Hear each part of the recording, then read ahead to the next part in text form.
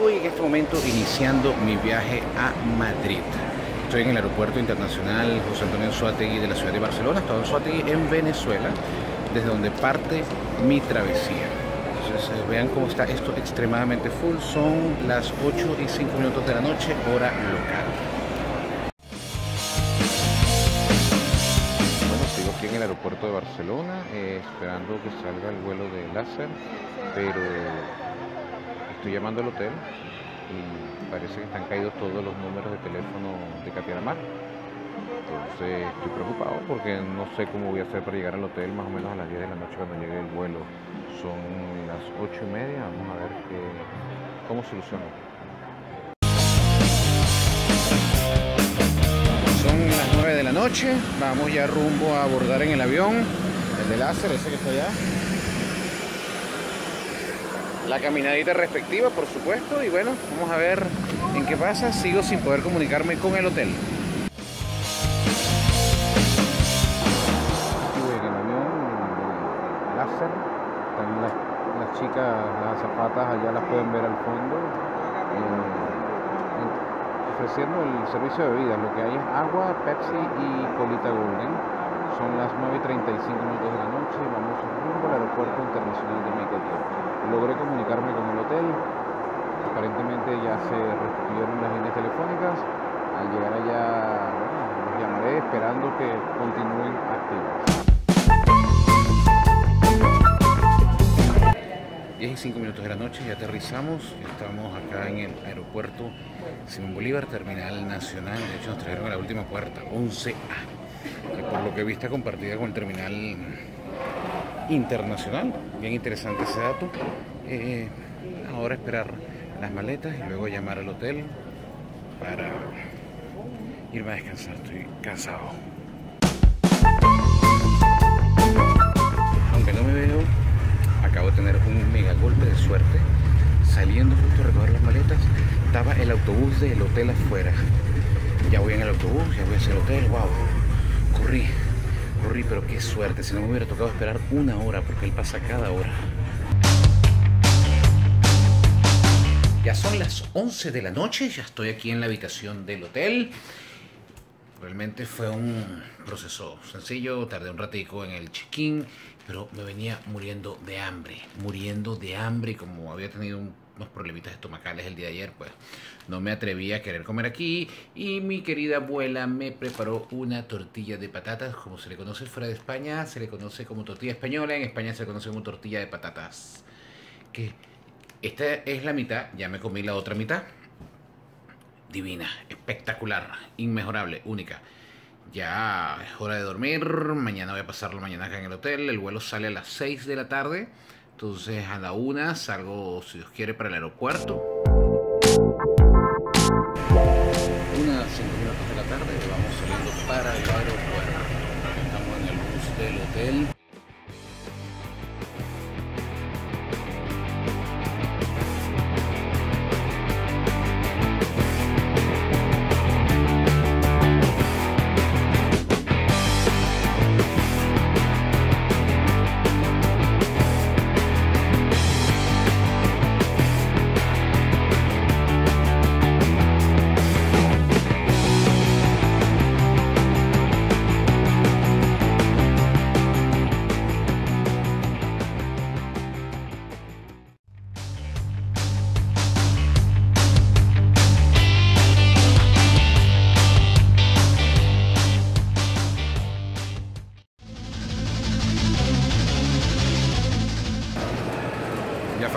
Aquí estoy por el aeropuerto, son las 2 y 10 minutos de la tarde, ya voy rumbo a, al área de embarque.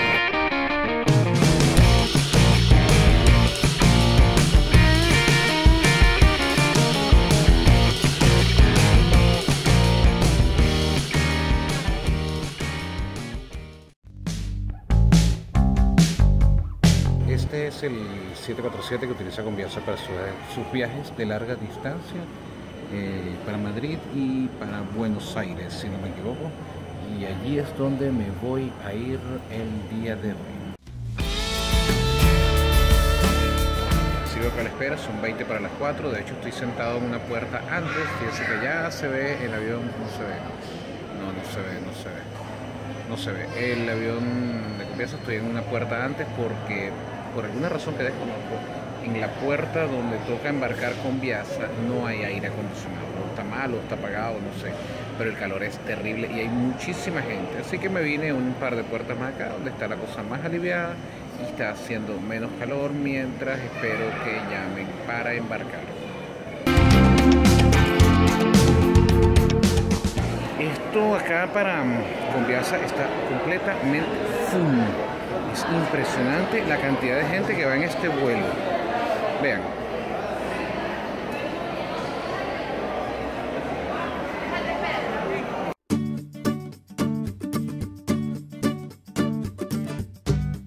Un chico de que está justamente detrás de mí explicando que los pasajeros de la fila 40 a la 70 van aquí en el medio del pasillo van a hacer la cola para embarcar. Y los demás luego de pasar primera clase van a ir por la parte de afuera. Explicando pero lo, que me da mucha risa es que él dice pero todavía no cuando comiencen a llamar para que la gente no se pare y se ponga en la cola una vez pero ya están haciéndolo por cierto qué cómico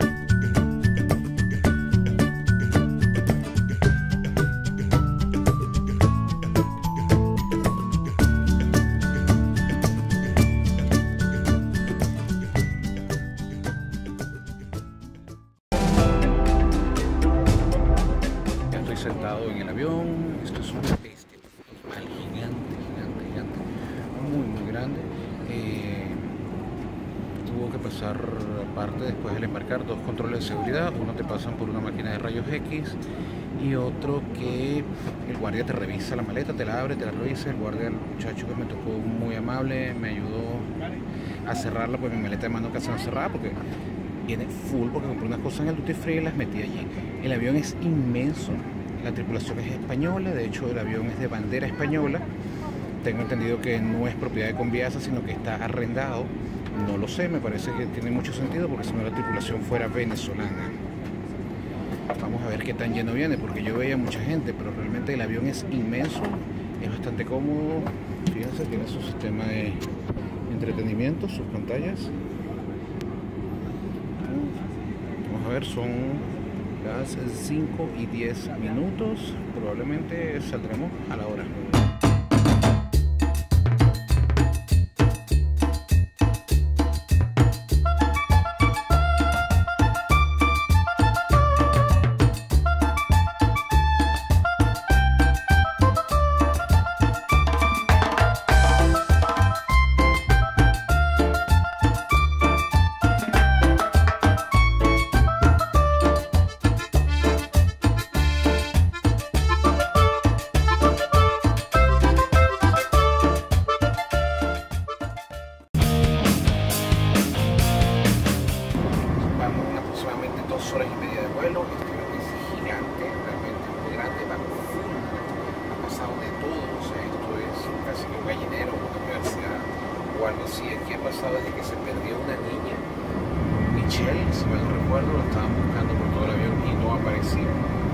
Hace más o menos una hora, hasta el hecho de que todo el mundo, por la mitad del avión se conoce, entonces están caminando de puesto en puesto, hablando entre ellos. Es una locura, esto es de verdad es una locura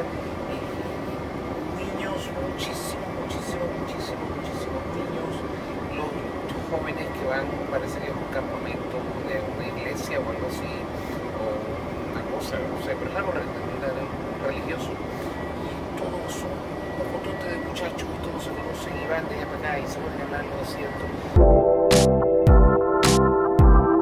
Por otro lado, la comida ya la sirvieron, fue pasta, estaba bastante buena, relativamente desabrida, pero bastante buena y nosotros era una carne negra con arroz, menos mal que pedí pasta, a pesar de todo, menos mal que pedí pasta.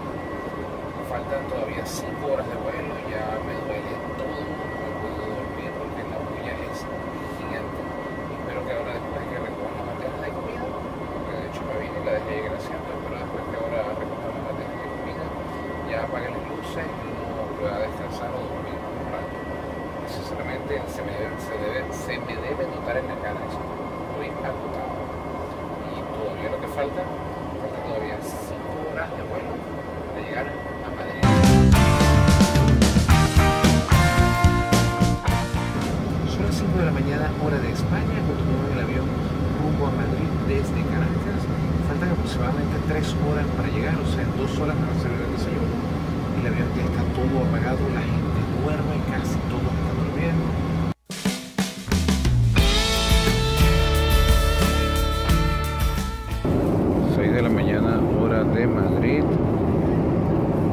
dos horas para aterrizar, ya despertaron. Estoy bajando del avión y esta es la escalera. Nos toca autobusito. Esta es la parte exterior del aeropuerto de Barajas, Adolfo Suárez de Madrid. Está todas las personas bajándose avión de acá de Conviasa.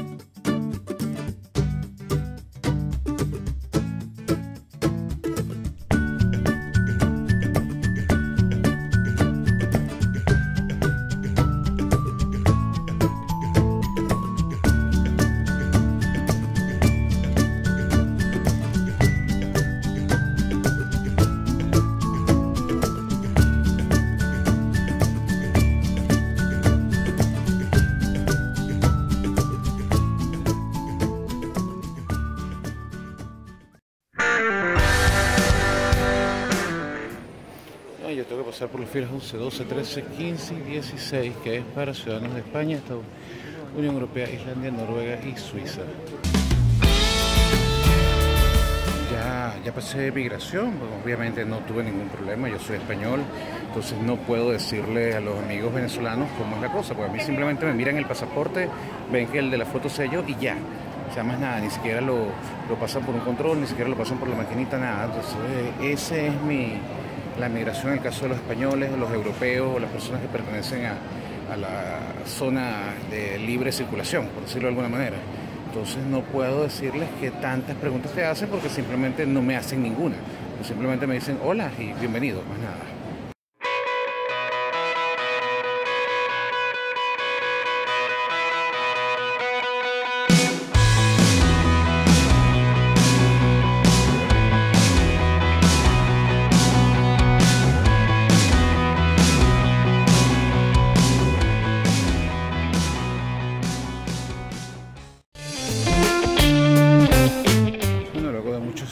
Salieron mis dos maletas. Estaba preocupado porque tardaron bastante, pero ya voy hacia el taxi. Vamos a ver cómo logro negociar con el taxista porque lo tengo son 30 euros en efectivo. Vamos a ver si la carrera me sale en eso, porque si me salen más no tengo con qué pagar.